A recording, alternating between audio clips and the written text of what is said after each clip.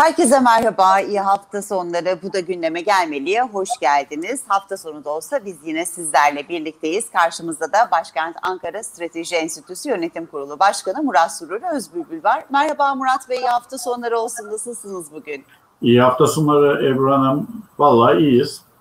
Ankara evet, fazla sıcak. Evet, ne, olsun sıcaktan zarar gelmez diyelim o zaman. Öyle demeyin. Geçen gün e, araziye çıkmıştım işte bir röportaj için. Ekinler feci vaziyette. Kurumuş. Bu sene e, yani kuraklık ekini çok kötü vurmuş.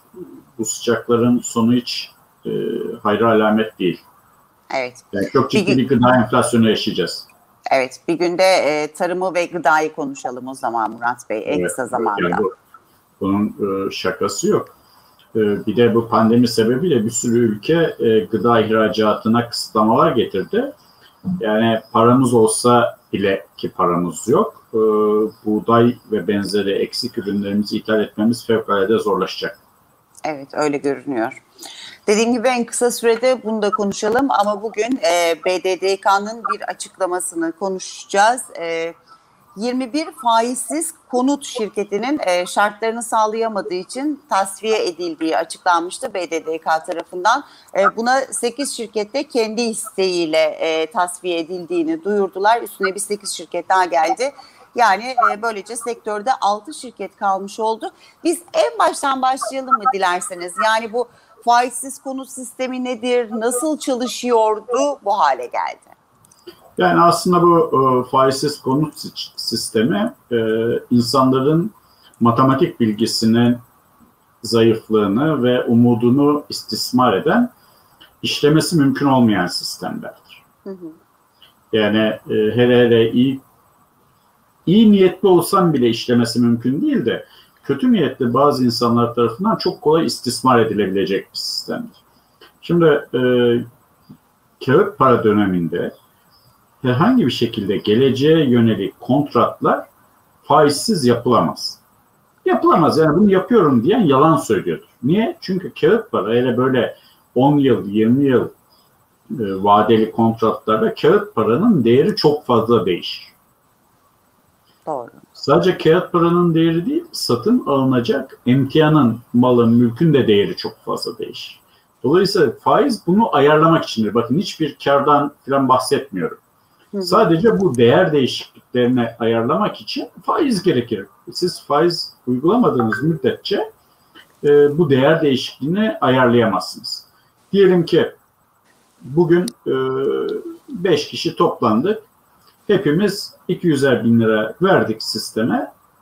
5 yıl içerisinde 200 bin lirayı ödeyecek taksitlere böldük. Yani 60 aya böldük.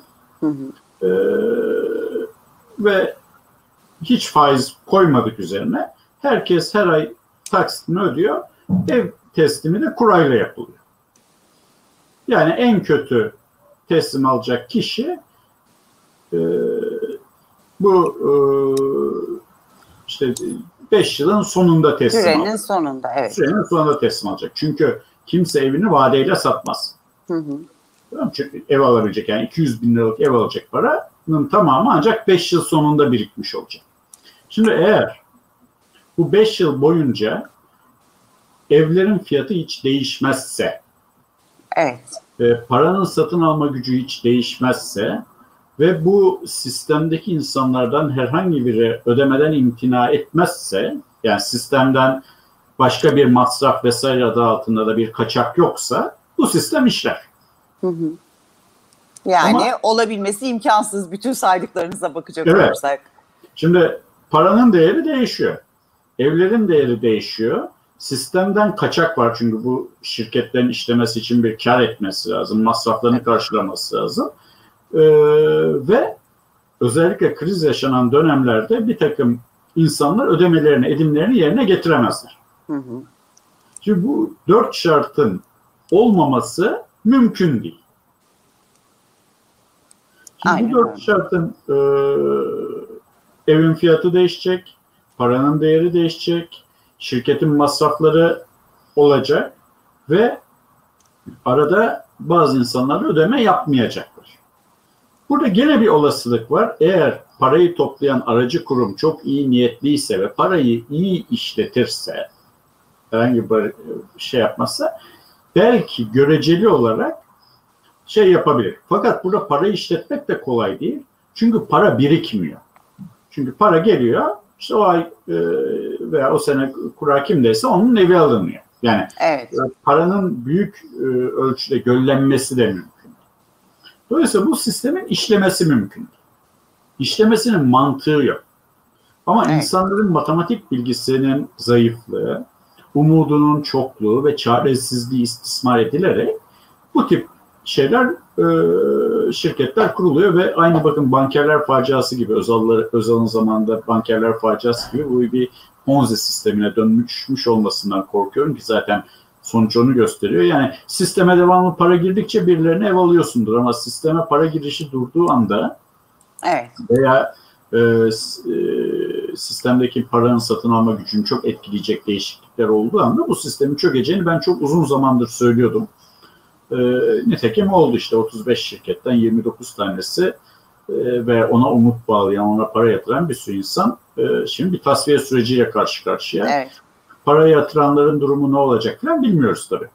Aa, ben de onu merak ediyordum yani hani bugüne kadar para yatıran hali hazırdaki insanlar, müşteriler nasıl etkilenecek bu durumdan? Peki bu konuda bir açıklama da yapılmadı değil mi hala? Yani o konuda, o konuda detaylı bir açıklama yok ama e, yani birilerinin mağdur olacağı kesindir.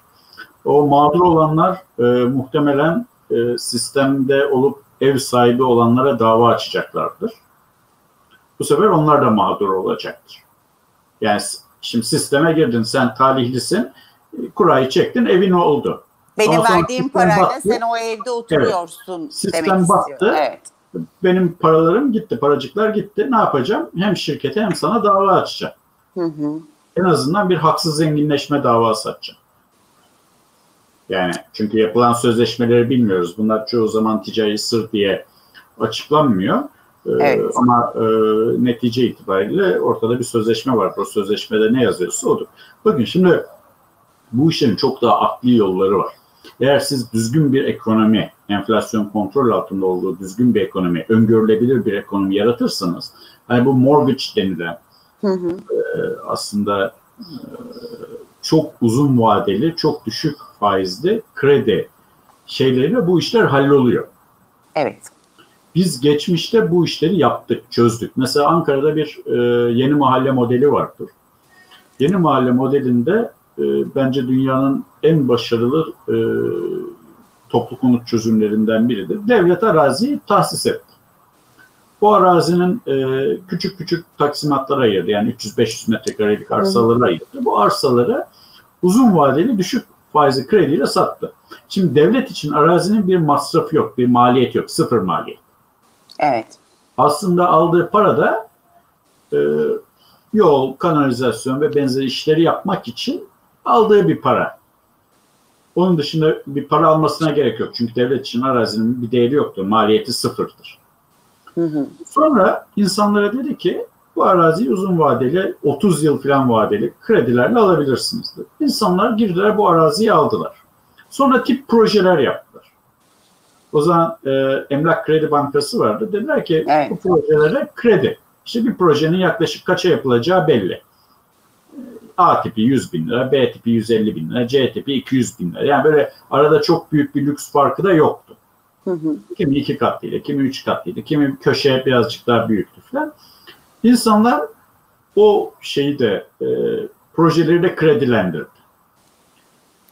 Tip proje olduğu için böyle mimara, mühendise, büyük işlere, imar ruhsatlarına falan filan da ihtiyaç duyulmadan herkes bir usta kendi çoluk çocuk hatta imece yani iki üç komşu birleşiyor birinin temel betonunu atıyor. Bizim insanımız bilir bu işleri. Köyden yani hepimiz köyde kendi evimizi kendimiz yapardık. Yani beton karmayı, demir bağlamayı, tahta e, çakmayı, marangozluğu biliriz veya mahallede Doğru. birkaç kişi vardır. Bunlar çok ucuza e, diyelim ki temeli atılıyor. Sonra gidiyorsun bankaya ben temeli attım diyorsun. Banka müfettişi geliyor bakıyor senin o kredi dilimini serbest bırakıyor. İşte e, kumcuya, betoncuya, e, işçiye, ustaya parasını veriyorsun. Gidiyorsun birinci katın e, çıkışını yapıyorsun. Birinci katı çıkıyorsun. Bankaya gidiyorsun ben birinci katı çıktım diyorsun. Geliyor banka onun parasını veriyor. İkinci kat, üçüncü kat çatıyı örttüğün zaman banka sana ödeyeceği paranın tamamını veriyor. Şimdi bir ucuza yapmış oluyorsun. Yani arada komisyoncu, müteahhit, hırsız, o bu falan filan yok. Evet. İkincisi sen kendi emeğini de kattığın için inşaatı ucuza mal ediyorsun. Arsa maliyeti olmadığı için inşaat ucuza. Herkes kendi evine yani o devrin şartlarında da oldukça güzel evlere hem de böyle bahçe içerisinde Ebru Hanım o kadar Ne güzel. yeni mahalle müthiş bir e, toplu konut projesiydi. Sonra bu iş yürümedi. Niye yürümedi biliyor musunuz? Bu e, müteahhit çetesi diyeyim, imar çetesi diyeyim, imar rantı peşinde koşanlar bu işe izin vermediler. Çünkü adam arazi kapatacak, o araziyi müteahhide verecek, o müteahhit para kazanacak, arazi sahibi para kazanacak, imar veren e, bürokrat siyasi e, avantajını alacak. Bu düzeni yürütmediler. Şimdi böyle sağlıklı düzenler varken, bu ülkede test ettiğimiz, yaptığımız, gerçekleştirdiğimiz böyle sağlıklı düzenler varken insanların umudunu sömüren, birikimlerini yok eden böyle e, iktisadi rasyonelite ve akılla uyuşmayan işlere girmek günahtır. Yazıktır ya, ya yazık. Bir sürü insanın parasını sömürüyorlar, umudunu sömürüyorlar. Olmayacak bir iş. Evet. Bakın başka bir şey. Mesela e, bu faiz meselesi, bu belki İslam inancının da halkımıza e, dayattığı veya bilincini şartlandırdığı bir konu. E, açın televizyonları, gazeteleri, e, billboardlarda her yere işte faizsiz bilmem kaç taksitte bir şey satıyorsun. Ya kardeşim vadeli bir kontratta, vadeli bir satışta faiz olur. Ne satıcı ne borç veren bu işi faizsiz yapmaz. E, olmadığı Mesela- sürece de zaten yaşanılan ortada. Yani Ha, adam ne yapıyor bunu? olacak. Müteahhit işte konut satıyor mesela. Müteahhit ne yapıyor? Kar marjının içerisine koyuyor. İnşaatı mal etmiş 100 liraya, arsayı mal etmiş 100 lira, 200 lira. 100 lira faiz maliyeti diyor 300 lira, 50 lira da benim karım diyor 350 liraya, 350 bin liraya satıyor. Ama ben sana faizsiz sattım diyor. Evet doğru. Yani kamu, devletin, ekonomi yönetenlerin bu tip şeylere izin vermemesi lazım. Yani bunlar e, insanların kandırılması. Peki Murat Bey son olarak şunu da sormak istiyorum. İşte faizsiz ev alma şirketleri diyoruz da hani pek çok yapılan e, işte devlet garantisi de vardır. Bunlarda devlet garantisi yok muydu? Yani bunlar tamamen e, ticaret kanunu çerçevesinde faaliyet gösteren şirketlerdi. Yani şimdi aslında borç toplayan bir şirketin e, devlet tarafından çok ciddi e, kontrol edilmesi lazım. Yani nasıl mesela bugün istediğiniz gibi bir banka açamıyorsunuz. Ama bizim e, devlet bunu daha evvel yaptı. Mesela banka açmak çok ciddi bir işken bankerlik diye bir kurum çıkarttı. Bankerler ilanla para topluyorlardı. Ne bir sermayeleri var, ne bir garantileri var, ne bir kontrolleri var. Sonra hepsi patır patır patladı. Yani belki bugün parası 10 milyarlarca dolar servet buharlaştı. Yani kimseye yaramadı. Bankerlere de yaramadı. Yani e, o bankerlerin de hepsi perişan oldular. Yani onlar da e, olmayacak bir işe girdi. Doğru. O yüzden e, bu şirketlerin de üzerinde ciddi bir denetim yoktu. Arkadaş sen bu kadar parayı nasıl topluyorsun, kimden topluyorsun, niye topluyorsun ama o işte e, bugün muktedirlerin e, faizsiz finans, faizsiz e, illüzyonu ile bunlara göz yumuldu. Sempati gösterildi. Bunların çoğu İslami sermayeye ait şirketler. Çünkü orada da e, öyle bir takıntı var. Evet faize karşı olmak. Olmayacak duaya amin, amin diyorlar ve hep beraber zarar görüyorlar. Şimdi bakalım bakalım ne kadar kişinin parası, pulu, malı, mülkü ziyan olacak. E, bu müteahhitlik sektörüne de darbe vuracaktır tabii yani iş krize gidecektir. Çok ciddi hukuki e, problemler çıkacaktır. E, korkarım iş tasarrufu sigorta mevduat fonuna intikal edip Sonuçta e, bunun parası biz vergi mükelleflerinin cebinden çıkacak. Yine dönüyor, dolaşıyor. Her Tabii, şey yine bizim cebimizi etkiliyor. Evet tabii çünkü e, Ebru Hanım şeyin e, devletin kendi başına bir parası yok ki senin paran benim param. Doğru. Vergi mükelleflerinin parası. Zaten halk bunu bir anlasa halk bunu bir anlasa bir sürü sorunumuz çözülecek ama halk devletin bir parası varmış gibi hayal ediyor. Doğru. Peki o zaman bugün de böyle noktalayalım. Takipçisi olacağız yine bakalım oradan ev Bu konuyu araba. takip etmek lazım özellikle mağduriyetleri. Evet alanların akıbeti bundan sonra ne olacak? Biz takipçisi olacağız diyelim. Bugüne noktayı koyalım. Artık pazartesi günü yeni haftada görüşmek üzere. Belki bir peker testi yaparız pazartesi. Evet. Bakalım. Belki yarın. peker testi yaparız evet. Evet. görüşmek üzere o zaman. İyi hafta sonları. Sağ ol. Hoşçakalın. Hoşçakal.